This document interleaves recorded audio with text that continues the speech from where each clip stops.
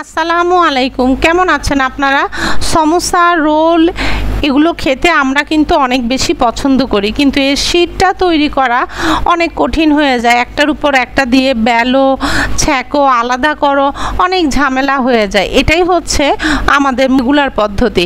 কিন্তু আরও সহজভাবে কিন্তু অনেক বেশি টেস্টের সাথে কীভাবে সমোসা শীট তৈরি করা যায় রোল শীট তৈরি করা যায় এবং ফ্রোজেন করা যায়, সেই পদ্ধতি আপনাদেরকে দেখাবো। জাস্ট ঝটপট তৈরি হয়ে যাবে। দুটা ডিম নিয়েছি আমি এইখানে। আর এই দুটা ডিমকে আমি প্রথমে ফেটিয়ে নিচ্ছি, খুব ভালো করে। ডিম যখন আমার ভালো করে ফাটানো হয়ে গেল, তারপর আমি বাকি উপকরণগুলো আস্তে আস্তে মিক্স করে নিচ্ছি। মিক্সিংটা হতেই যা দেরি, ময়দা দিয়ে দিলাম আমি এখানে তিন কাপ আর লবণ দিয়ে দিয়েছি এক চা চামচ। কর্নফ্লাওয়ার দিয়ে দিয়েছি ওয়ান ফোর্থ কাপ চার ভাগের এক কাপ আমি স্পাটুলা দিয়ে ভালো করে সমস্ত উপকরণ মিক্স করে নিচ্ছি। আগে যদি ভালো করে মিক্স করে নেওয়া হয়, পরে পানির সাথে মিশাতে অনেক সহজ হবে। এরপর আমি এক কাপ পানি নিয়ে নিয়ে, দিয়ে দিলাম। এটা জাস্ট রুম টেম্পারেচারের নর্মাল পানি। পানিটা দিয়ে তারপর আমি এই ফেটিয়ে নেওয়া ডিমটা দিয়ে দিলাম। ডিমটা কিন্তু প্রথমে দেয়া যাবে না। এরপর ডিমের বাটির মধ্যে আমি আরও এক কাপ পানি দিয়ে দিলাম। এই দুটোকে আমি মোটামুটি একটু মিক্স করে নিচ্ছি। মিক্স করে নেওয়া হয়ে গেলে আবার পানি দিলাম। এখানে টোটাল চার কাপ পানি দিয়েছি, কিন্তু এখনও চার কাপ পানি দেওয়া হয়নি। তেল দিয়ে পরে মিক্স করে তারপর দিব। এখানে তেল দিয়েছি আমি দুই টেবিল চামচ। দুই টেবিল চামচ তেলও আমি মিক্স করে নিচ্ছি। তাহলে এই পর্যন্ত আমার পানি দেয়া হয়েছে তিন কাপ। এরপর আমি আরও এক কাপ পানি দিয়ে দিলাম। টোটাল চার কাপ পানি আমার দেয়া হয়ে গিয়েছে। এখন এটাকে খুব ভালো করে ফেটিয়ে মিক্স করার পালা। সময় নিয়ে খুব ভালো করে এটাকে ফেটিয়ে মিক্স করতে হবে। তাহলেই পারফেক্ট ব্যাটারটা পাবেন। কোনো রকম কোনো দলা দলা ভাব থাকলে কিন্তু সমোসার এবং রোলের যে শীতটা আমরা তৈরি করতে চাচ্ছি এটা হবে না। খুব ভালো করে ফেটানোর পর এটাকে আমি এবারে ছেঁকে নিচ্ছি।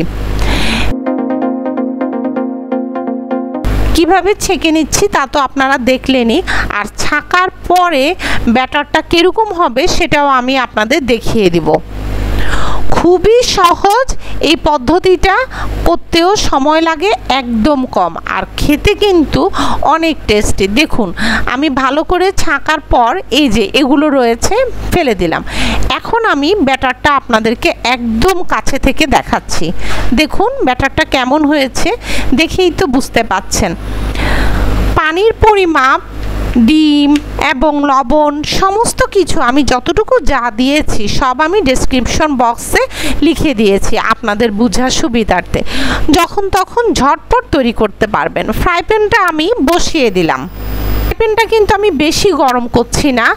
আঙ্গুল দিয়ে ধরা যায়, এরকম গরম। এটা হচ্ছে ফার্স্ট ব্যাটারটা আমি ঢালছি।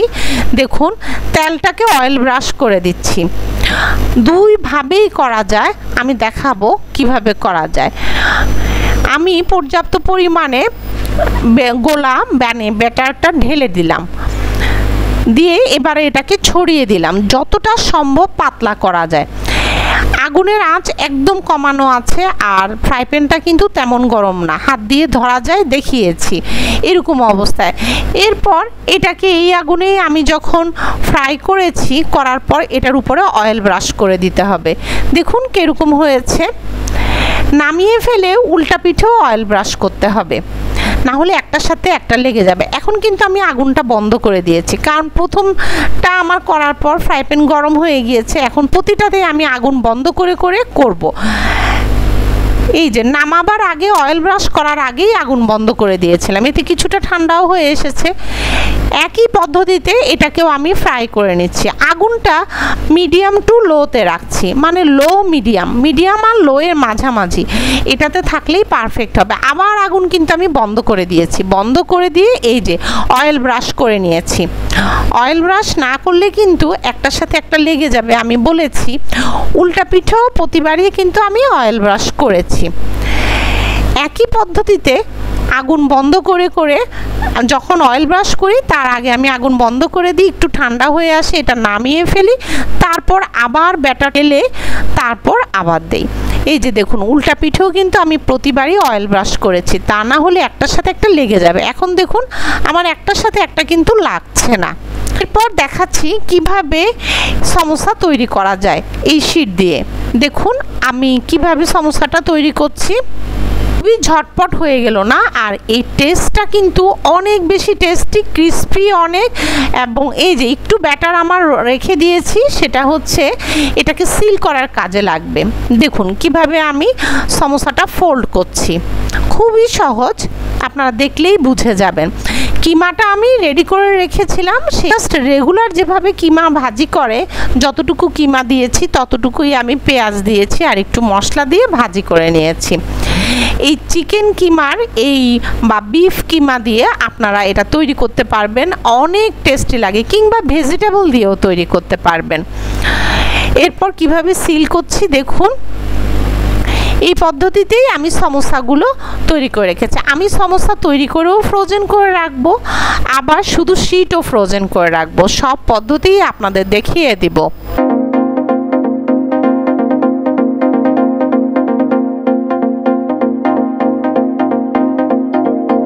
এই যে, আমার চারটা সমস্যা ফ্রাই চারটাই আজকে ফ্রাই করব। আগুনটা হালকা গরম করা, খুব বেশি গরম কিন্তু না। এই অবস্থায় আমি সমস্যাগুলোকে দিয়ে দিয়েছি। অল্প আছে। অল্প আছে ভাজি করতে হবে। প্রথমে তা যদি ভালো ক্রিস্পি চান, তা না হলে আর বেশি আছে ভাজি করলে কিন্তু ভালো ক্রিস্পি হবে না। এবারে আমি রোল তৈরি করার প্রসেসিংটা আপনাদেরকে দেখাচ্ছি। ওটা ফ্রাই হতে থাকুক। এই যে, রোলটা আমি কীভাবে ফোল্ড করছি দেখুন, এটা একদমই সহজ।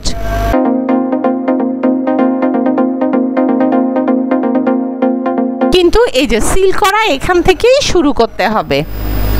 আর যে দিকটা সিল করবেন, সেই দিকটা নিচের দিক করে রাখবেন। তাহলে আরও ভালোভাবে লেগে যাবে। এগুলো আমি ফ্রোজেন করব। হয়ে গেল রোল তৈরি করা। এই যে সমস্যাটা অনেকক্ষণ অল্প আছে ফ্রাই হয়ে তারপর দেখুন, অল্প আঁচ কিন্তু একদম নিবু নিবু না নিবু নিবু আগুনে করতে যাবেন না, লোতে লোতে। ফ্রাই করলেই ভালো ক্রিস্পি হয়। এরপর আগুন বাড়িয়ে নামিয়ে নিয়েছি। দেখুন, দেখেই বুঝতে পাচ্ছেন এটা কতটা ক্রিস্পি হয়েছে আর টেস্টটাও কিন্তু অনেক ভালো। রেগুলার যে সমস্যা খাই, তার চাইতে এর টেস্ট অনেক ভালো। আমি ফ্রেঞ্চ ফ্রাই ফ্রোজেন করে রেখেছি, তা দিয়েই পরিবেশন করছি। আপনারাও চাইলে যখন তখন এই ফ্রেঞ্চ ফ্রাইটা রেস্টুরেন্ট স্টাইলে তৈরি করতে পারবেন। আমি ডেসক্রিপশন বক্সে সেই লিঙ্কটাও দিয়ে দিব। ওই ভিডিওটাও আমি শেয়ার করেছি। পারফেক্ট ফ্রেঞ্চ ফ্রাইয়ের এই যে দেখুন, এগুলো আমি ফ্রোজেন করব। আর ফ্রোজেনেগুলো আমি এভাবে দুই পিস করে কেটে তারপর এভাবে রেখে দিয়েছি।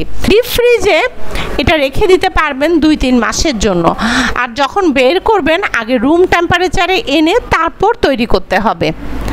আর কিছু তৈরি করা সমোসা রোল কীভাবে আমি ফ্রোজেন করছি সেটাও দেখিয়ে দিচ্ছি। একটা জিপ ব্লক ব্যাগে আমি এগুলো ফ্রোজেন করব। আমার আগেরও একটা সমস্যা ছিল, সেটার সাথে এই যে এগুলো সহ দিয়ে আমি রেখে দিচ্ছি। রেখে দিতে পারবেন তিন চার মাসের জন্য, যখন মন চায় বের করে ভাজি করে খেতে পারবেন। আর ভাজি সিস্টেমটা তো একই। তো আশা করি আমার আজকের ভিডিওটা আপনারা অনেক বেশি লাইক করবেন এবং অনেক বেশি কাজে আসবে। যখন তখন এখন সমস্যার শীট তৈরি করা কোনো বিষয়ই না। কেমন হয়েছে আমার সমস্যাগুলো আমি একটু দেখালাম। টোকা মারলেও এটা বোঝা যায় এটা কতটা ক্রিস্পি হয়েছে। তো ভালো থাকবেন সবাই। আমাকে ফিডব্যাকটা অবশ্যই জানাবেন। আমার ইউটিউবের চ্যানেলটাকে সাবস্ক্রাইব করবেন। পাশে থাকা ছোট্ট বেল আইকনটা অবশ্যই প্রেস করবেন। যাতে এইরকম সব ভিডিওর নোটিফিকেশন আপনাদের কাছে পৌঁছে যায়। আর যারা ফেসবুকে ওয়াচ করছেন, তারা লাইক ফলো দিয়ে পাশে থাকবেন। আল্লাহ হাফেজ।